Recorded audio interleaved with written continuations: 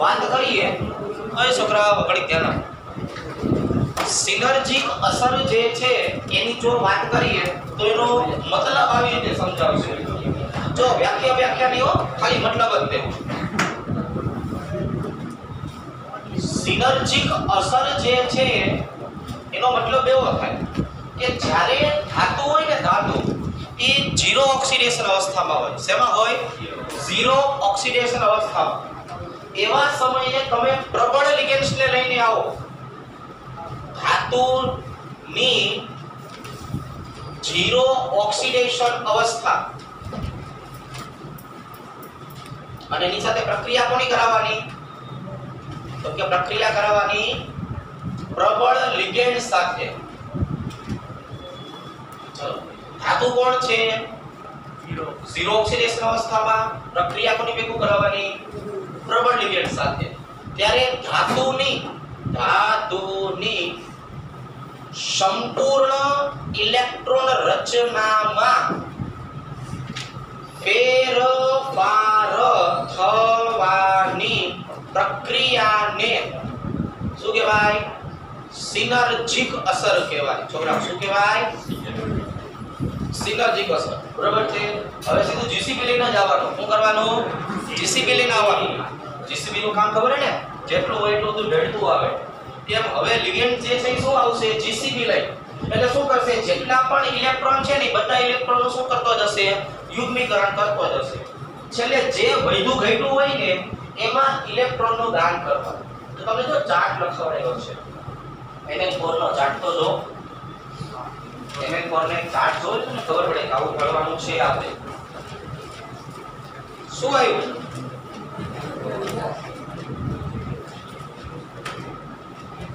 ચલો સૌથી વધારે પ્રબળ લિગેન્ડ્સ કોણ? બોલો બોલો. સૌથી વધારે પ્રબળ લિગેન્ડ્સ કોણ ખબર છે? કાર્બોનેટ કારણ શું?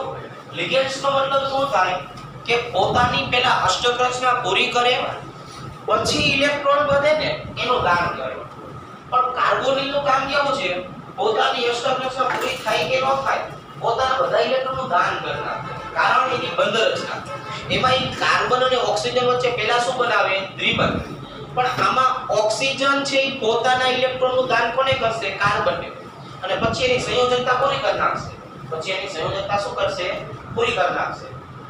હવે આજે કાર્બન પાસે વધારાના ઇલેક્ટ્રોન પડ્યા રહ્યા ને બરોબર? કાર્બનની સંયોજકતા કેટલી હોય? અહીંયા કેટલી થઈ? અહીંયા કેટલી સંયોજકતા થઈ? એટલે ત્રણ જ થઈ. અહીંયા કેટલી થઈ? ત્રણ. જ થઈ. કાર્બનની સંયોજકતા ચાર થાય ને તો એની સંયોજકતા પૂરી થાય ને. એટલે ચોથી સંયોજકતા ગોતવા નીકળશે. શું કરશે? ચોથી સંયોજકતા ગોતવા માટે પોતે નીકળશે. પછી જે મળે ને એને ઇલેક્ટ્રોન દઈ બંધ બનાવી નાખશે. શું કરશે? આ ઇલેક્ટ્રોન નીકળો જે મળે એને શું કરે? ઇલેક્ટ્રોન દઈ બંધ બનાવી નાખશે. સમજણ પડી ગઈ? એટલા માટે આ વધારાના ઇલેક્ટ્રોનિકોનું દાન કરી દેશે. હવે કેટલા બંધ બન્યા? ચાર. કેટલા બંધ બન્યા? ચાર બન્યા. તો કાર્બન અહીંયા પોપટ લાગશે ચાલો. તો હવે આપણે આની જો વાત કરીએ, તો અહીંયા સૌથી વધારે પ્રબળ લિગેન્ડ્સ કોણ થશે? કાર્બોનિલ. કોણ થશે? કાર્બોનિલ. આ કાર્બોનિલ છે સૌથી વધારે પ્રબળ લિગેન્ડ્સ છે. ચાલો. તો હવે મિત્રોનો ચાર્ટ જોવાનો કીધો Ml4 નો. શું જોયું તમે એમાં? એમ? ચાર્ટ જોયો? શું છે? Ml4 જોયું? Ml4 કેટલી શક્યતા છે? 3 કઈ કઈ રબર લિગેન્ડ્સ નિર્બળ લિગેન્ડ્સ અને બીજી નિકલની ઝીરો ઓક્સિડેશન અવસ્થા.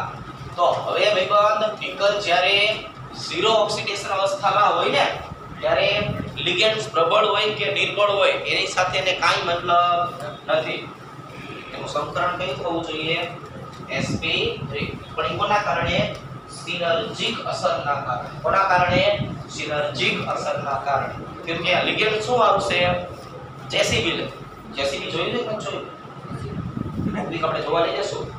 એના બાજુમાં પેટ્રોલ પંપ બનાવે ને, કામ કરાવતા ત્યારે આપણે કહેશું, ચાલો, ફરી જેસીબી જોવા જઈએ. હવે આપણો, તો અહીંયા આપણે પેલા આઈયુપીએસસી નામ લખી આપો. બોલો તો ખરા.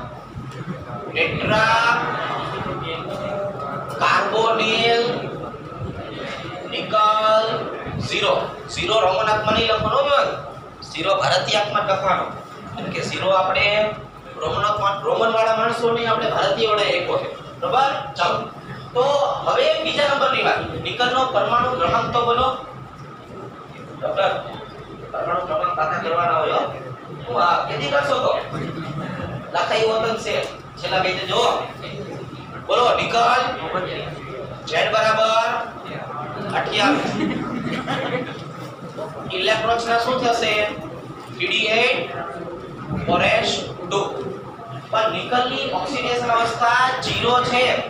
એક પણ ઇલેક્ટ્રોન દૂર થવાનો નથી. આમાંથી એક પણ ઇલેક્ટ્રોન દૂર થવાનો નથી. એનું પડ્યું રહેશે? બરાબર ને ભાઈ તો હવે શું કરશું? તો કે ભાઈ નિકલ તો 0 છે. આર્ગોન કમ્પ્લીટ 3d માં કેટલા ઇલેક્ટ્રોન હોય? 8 s માં અને b માં કઈ ના હોય. ચાલો. આ કોણ? 3d આ કોણ? 4s આ કોણ? 4b બરાબર? ચાલો હજી એક વખત બની નાખશું ને? આ પડો 1 2 3 4 અને 5 અહીંયા શું આવશે? 1 અને અહીંયા શું આવશે? 3 અહીંયા આપણે કોના માટે વાત કરશું, છોકરાઓ? NiCO4 હવે નિકલની પાસે 8 ઇલેક્ટ્રોન છે, છોકરાઓ. 1 2 3 4 5 6 7 8 અને આમાં કેટલા છે? 2 હવે આપણે સિનર્જિક અસરની વ્યાખ્યા હું શીખા. બોલો ભાઈબંધ સિનર્જિક અસરની વ્યાખ્યા શું છે? ધાતુ કેવો હોવો જોઈએ? ઝીરો ઓક્સિડેશન અવસ્થામાં. છે? લિગન્ડ કયો લાવવાનો? પ્રબળ. લાવ્યા છો પ્રબળ? તો કે આ. હવે પ્રબળ લિગન્ડ થઈથી જીસીબી ચાલુ કરશે. આમ આમ આમ આમ આમ આમ કરતો અહીંથી શું કરશે? બધું રેડીને આમ નાખી દેશે. એટલે આ ઇલેક્ટ્રોનને પકડીને ક્યાં નાખશે? એ બાજુમાં. એટલે યુગ્મીકરણ આપણો આ બે ઇલેક્ટ્રોનને પકડીને ક્યાં નાખશે? 3D માં નાખી દેશે. ચાલો. હવે આપણી પાસે ખાલી કેટલો રહ્યું ફોરેસ અને 4p લિગેન્ડ્સ કેટલા છે? 4 ઇલેક્ટ્રોનિક પરનું દાન કેટલાનું કરશે? 4 નું કરશે. કયું સંકરણ જોવો જો એવું આપણે લખાયું છે. તો જો, આમાં દસે દસ આવી ગયા ને, હવે જે ઇલેક્ટ્રોન પરનું દાન થશે ને કઈ કક્ષકમાં થશે? S અને p શેમાં શેમાં દાન કરશે s અને p તો અહીંયા કોણ દાન કરશે? કાર્બોનેટ. અહીંયા કોણ દાન કરશે? કાર્બોનેટ. અહીંયા કાર્બોનેટ. અહીંયા કાર્બોનેટ. કયું સંકરણ કરે છે છોકરાઓ? Sp3 સંકરણ. એટલે આપણે કીધેલું હતું કે નિકલ ઝીરો ઓક્સિડેશન અવસ્થામાં હોય તો સંકરણ કેવું થવું જોઈએ? Sp3 બરાબર આવડશે લખતા? બોલો. સંકરણ, આકાર બંધ કોણ ત્યાર પછી ચુંબકીય ગુણધર્મ, ચુંબકીય ચાક માત્રા બરાબર?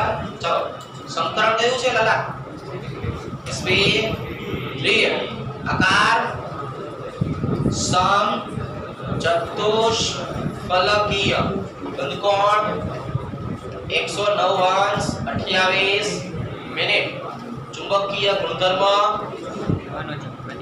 પ્રતિ ચુંબકીય ચુંબકીય ચાક માત્રા 0.04 મેગાટોન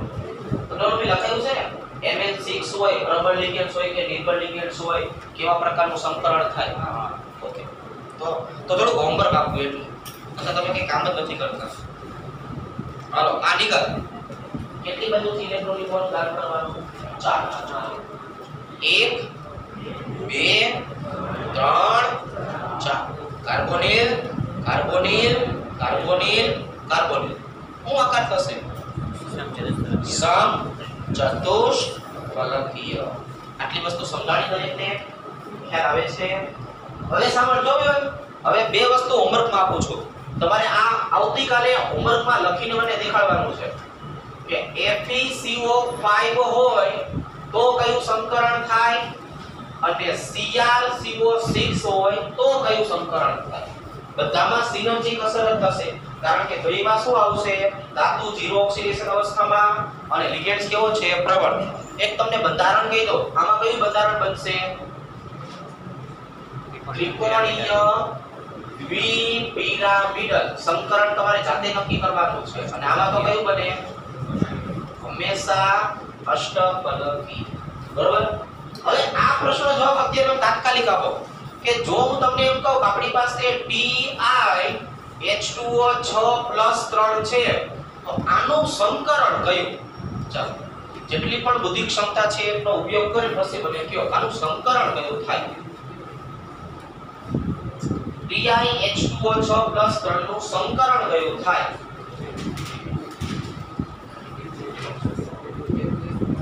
હે વિવન મોટેથી બોલ ને બોલો વિવન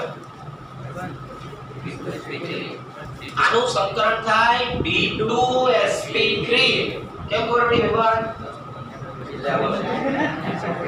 એ જ મગજ વાપરવાનો ટિટેનિયમનો પરમાણુ ક્રમાંક હતો 22 તો 22 નંબર હોય તો આપણે લખશું શું? Argon complete 3d2 4s2 ટિટેનિયમની oxidation અવસ્થા કેટલી? પ્લસ 3 પ્લસ 3 બે ઇલેક્ટ્રોન અહીંથી, એક ઇલેક્ટ્રોન અહીંથી. હવે હું અહીં દો 3d1 4s0 હવે જોવો જોઈએ b1 હોય, તો એના માટે હું લખાવવાની છે એના કોષ્ટકમાં મેં એટલે મેં કીધું હતું કે કોષ્ટક હંમેશા MCQ માટે હોય. જો B1 હોય તો પ્રબળ લિગેન્ડ્સ હોય કે નિર્બળ લિગેન્ડ્સ હોય, સંકલન કઈ કરશો. B2sp3 બરાબર? પ્રબળ હોય કે નિર્બળ, કાઈ ફેર પડશે નહીં. સંકલન કયું થશે એનો? B2sp3 okay? ચાલો, અહીંયા સુધી રાખીએ. પેલા લખી લો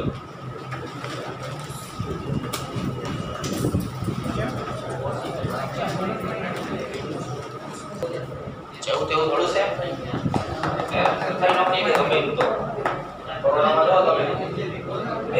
બહુ ચાલુ થયો આ જવા દો.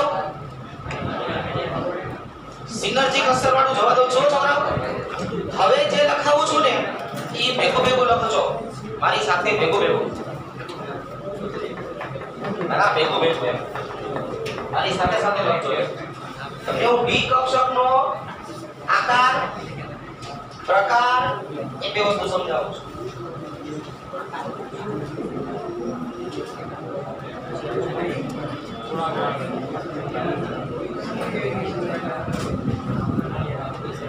કે પછી આપણે શીખવું છે અષ્ટફલકીય બંધારણ છે, એમાં સ્ફટિક ક્ષેત્ર વિભાજન મોસ્ટ ઇમ્પોર્ટન્ટ ટોપિક હો બધાને આવડવો જોઈએ.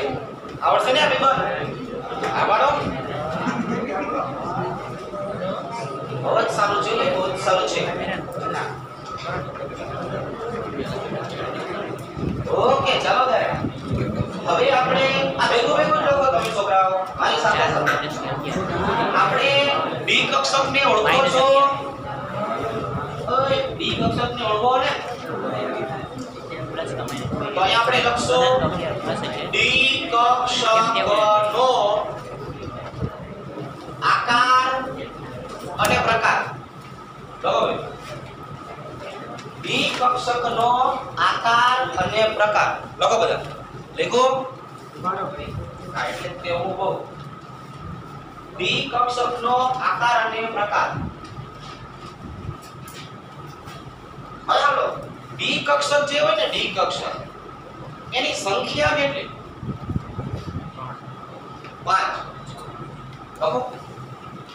બી કક્ષક જે છે એની સંખ્યા કેટલી? તો કે ભાઈ પાંચ હોય. હોય કે ના હોય? અસલ મજાની પ્રકાર કેટલા? જો, લ્યો. તો કે પ્રકાર હોય બે. પ્રકાર કેટલા હોય? બે. કયા કયા બે? પેલું. સમતલની મધ્યમાં અને અક્ષની ઉપર. અને અક્ષની ઉપર. બરોબર છે? સમતલની મધ્યમાં હોય ને છોકરાઓ? સમતલની મધ્યમાં. એવી ડી કક્ષક કેટલી? તો કે 3 એવી કેટલી? 3 અને અક્ષની ઉપર હોય એવી કેટલી? ઓકે ભાઈ ચલો કઈ કઈ ત્રણ કક્ષકો સમતલની મધ્યમાં હોય?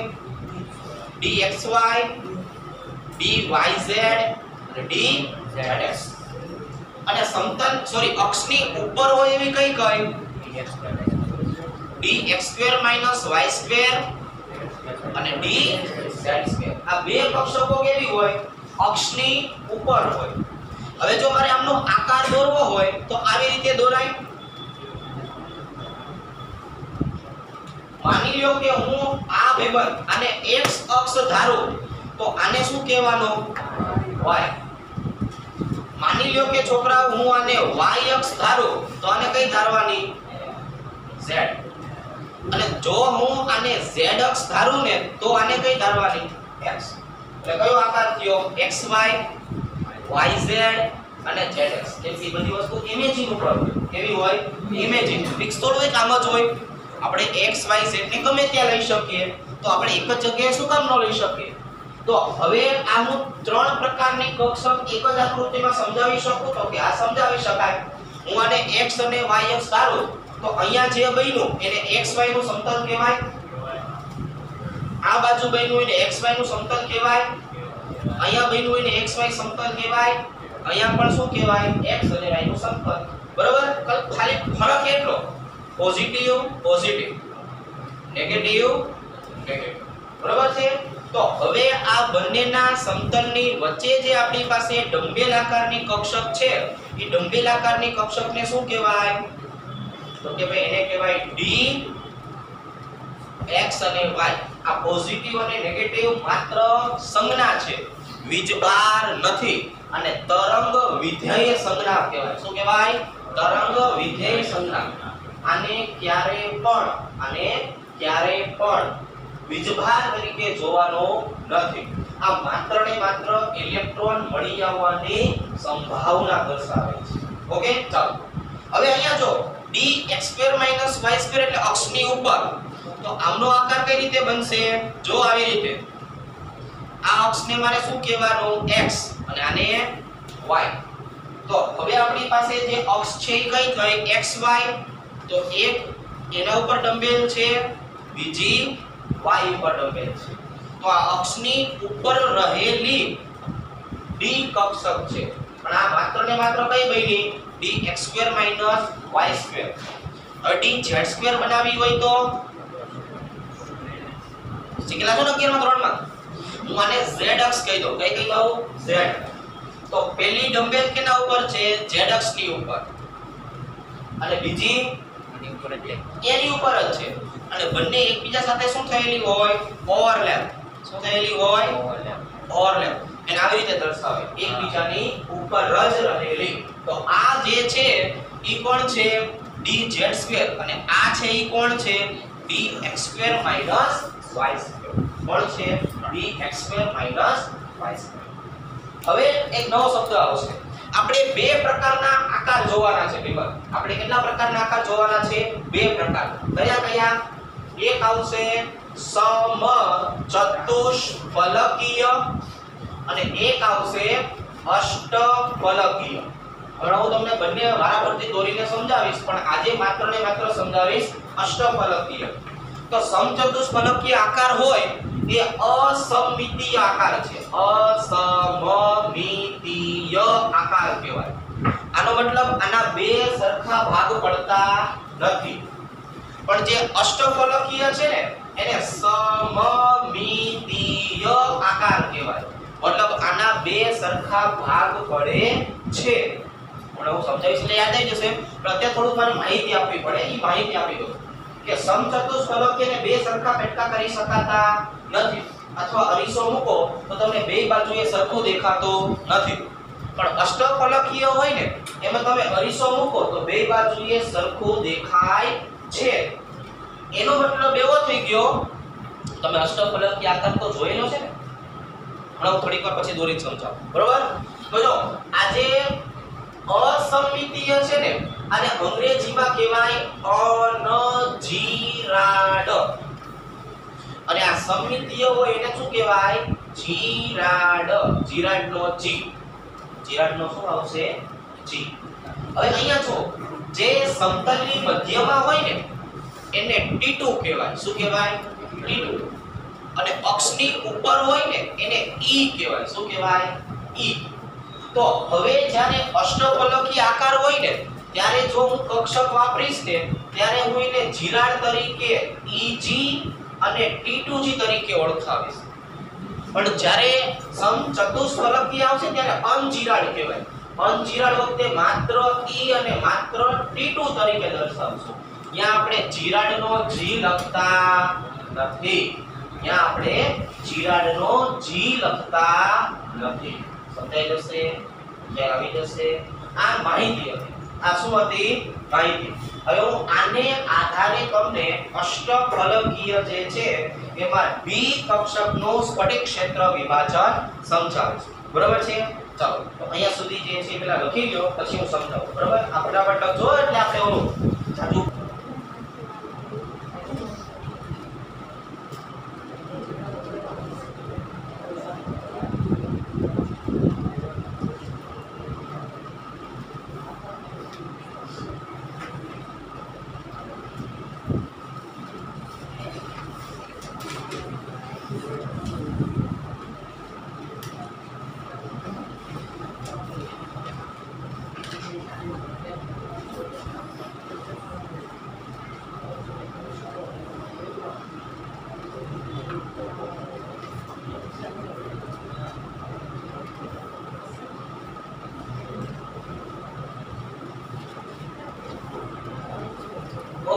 ચાલો ગયો. હાલો, હવે ઘડીક છે ને તમે નિશસ્ત્ર ભવ થઈ જાઓ.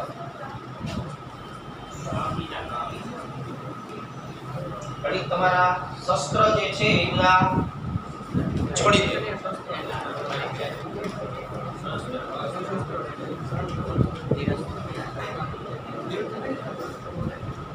ઓલા હેરી પોટર વિશે છે ને હેરી પોટર તમારી dialogue છે. નિશસ્ત્ર એટલે શીખવું પડશે આમાં તો નહીં સમજાય આવું દસ મિનિટ વ્યવસ્થિત ભણાવું કે નહીં પછી તમને ખબર પડશે એટલે ઘડીક હવે બોર્ડ ઉપર ધ્યાન રાખવાનો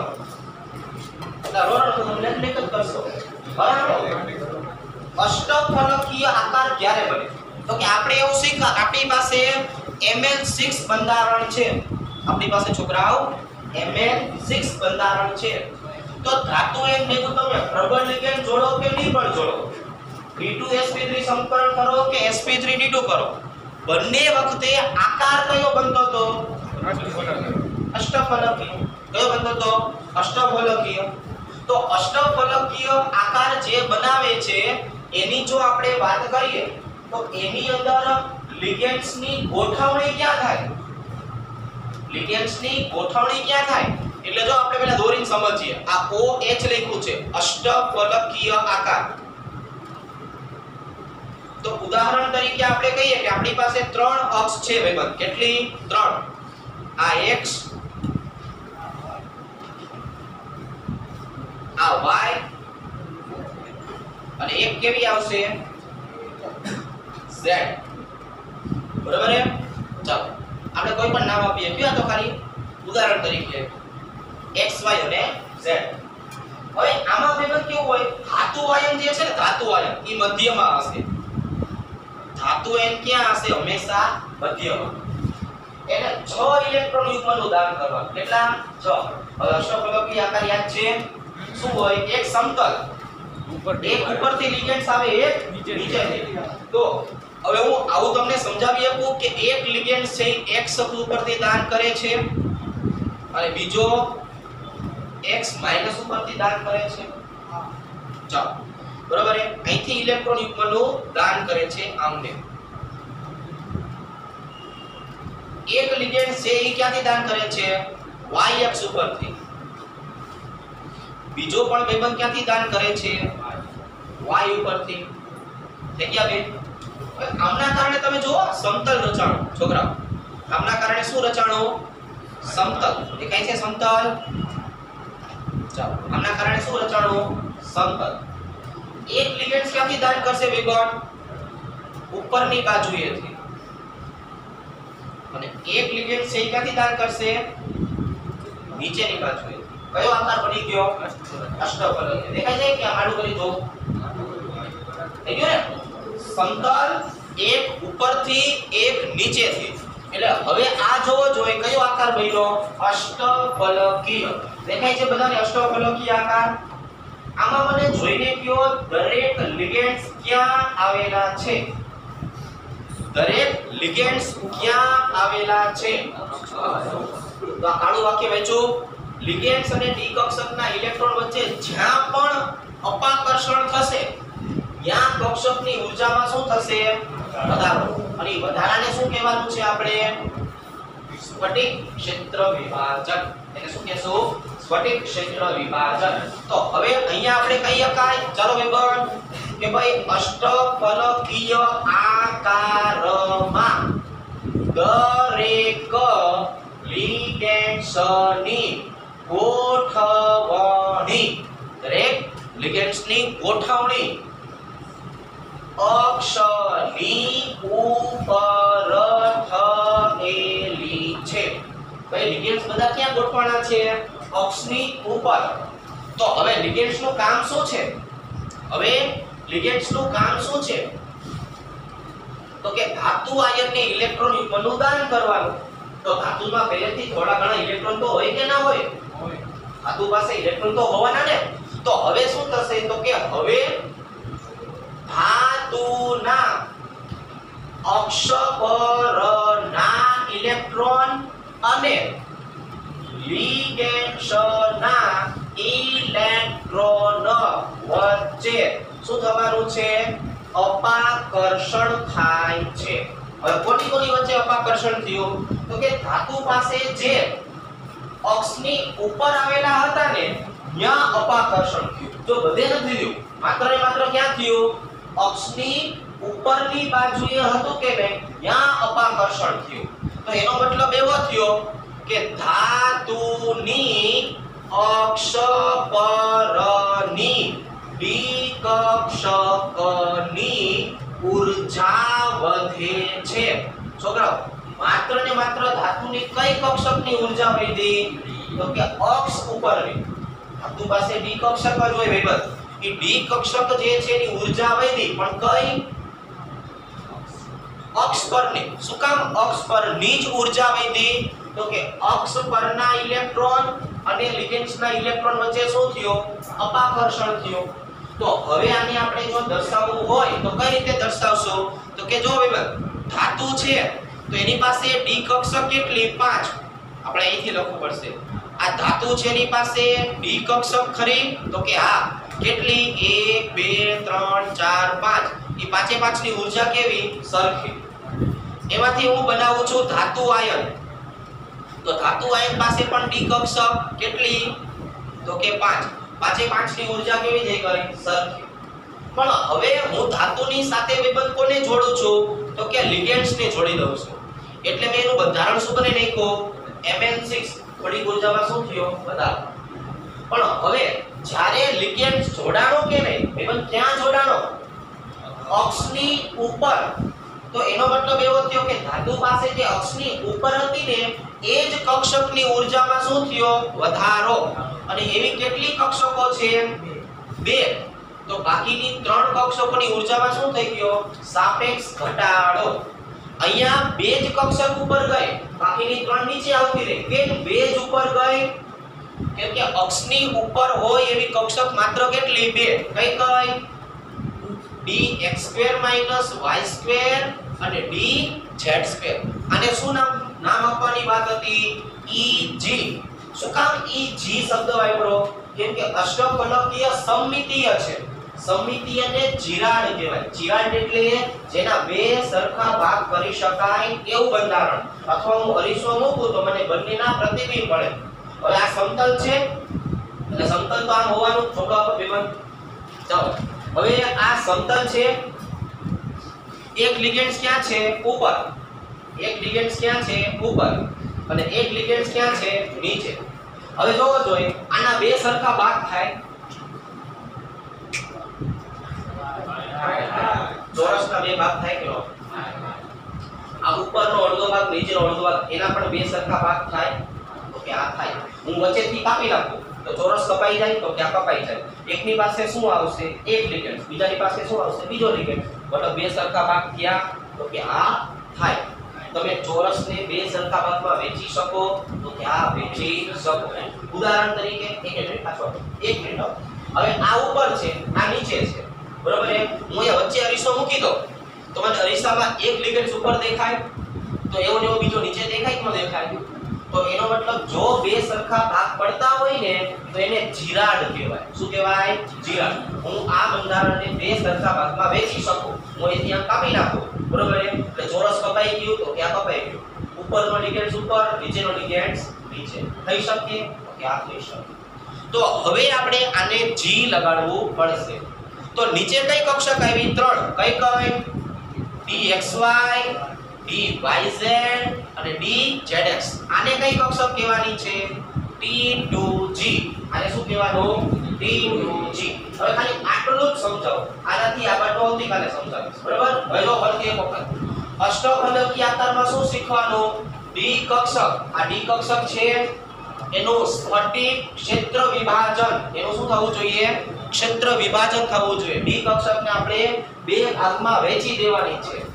તો એના માટે થઈને પહેલું શું શીખા આપણે? કે ML6 હોય, એમાં ધાતુની સાથે મારે કોને જોડવાનું છે? પ્રબળ, નિર્બળ D2 કે sp3 કોઈ પણ પ્રકારનું સંકરણ કરો. આકાર તો ફરજિયાત કયો બનશે એનો? અષ્ટફલકીય. તો અષ્ટફલકીય આકાર આવો હોય.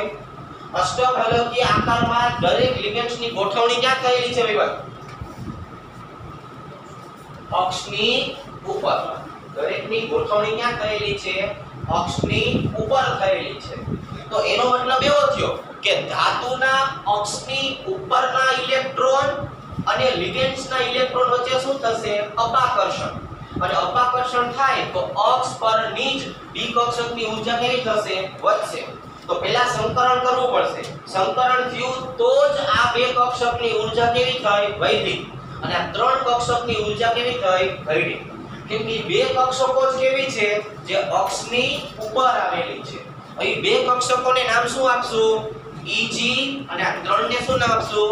P2G G. શું કામ લગાડ્યો છે? તો કે G શબ્દનો મતલબ શું થતો તો જીરાડ. અને જીરાડ એટલે સમમિતીય.